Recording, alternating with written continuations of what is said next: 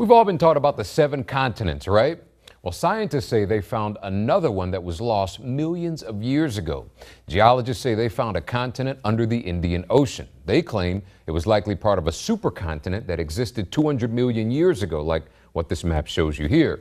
They believe this lost continent helped form part of present day Madagascar and India, and they say the rest of it probably sank 84 million years ago.